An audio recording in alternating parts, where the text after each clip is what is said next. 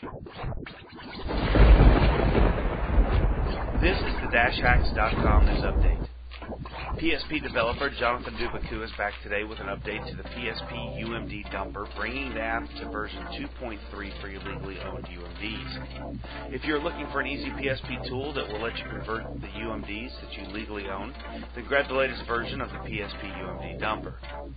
Are you looking for a custom firmware that will allow you to boot your PS3 directly? Well, there's good news as Levin from GitBrew is here to hook you up.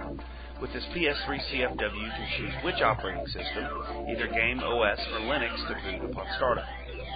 The E3 team has also released two new free boots for Splinter Cell Trilogy HD and also 1.04 updates for Batman Arkham City, which should make many of you quite happy.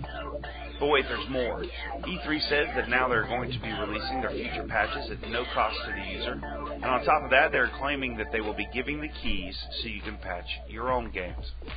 Check back next week for another DashHacks.com news update.